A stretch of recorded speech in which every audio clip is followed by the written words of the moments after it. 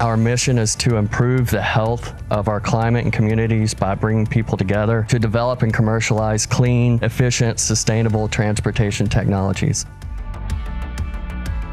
The societal and environmental benefits go beyond the emission savings from the single truck, which are estimated to be 127 tons of CO2 and almost a half a ton of criteria pollution over the course of the year.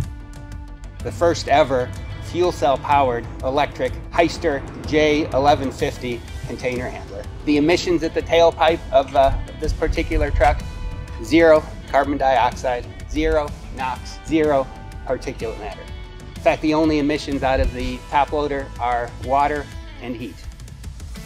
This event is definitely one of the biggest milestones in our history. Not only for our part in creating the world's first fuel cell container handler, but ports are ground zero for the use of renewable hydrogen as a fuel. We expect this project to lead to full fleets of zero emission Hyster machines operating in and around ports, warehouses, freight corridors that are disproportionately adjacent to low income and other disadvantaged communities.